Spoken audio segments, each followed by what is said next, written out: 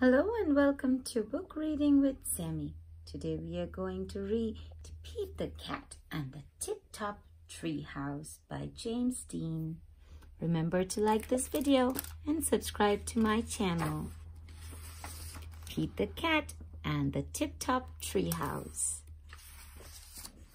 Pete the Cat has built a tree house. He calls his friends. I just built a tree house, he says. Come over to play. He called all his friends.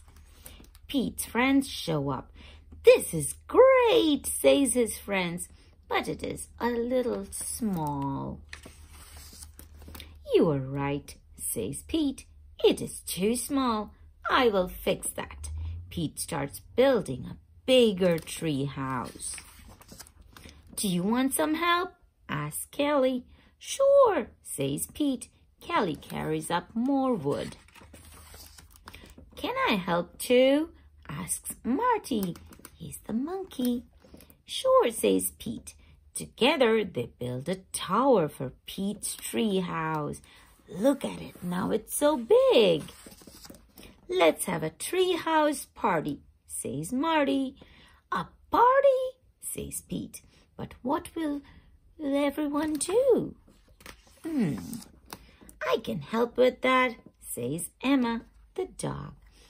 This is great, says Pete. Let's do it. Pete, Marty, Callie, Emma, and Grumpy Toad get right to work. They build an arcade. They fill it with fun games.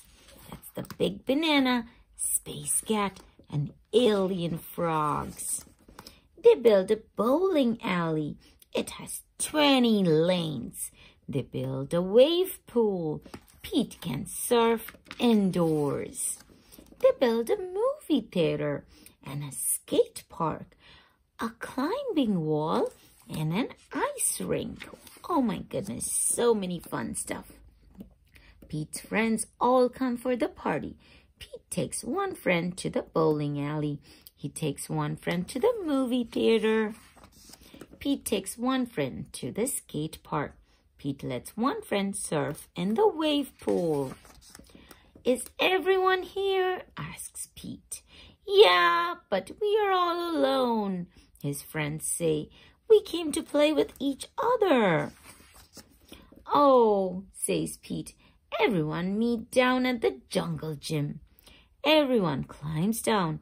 This tree house is amazing, say his friends.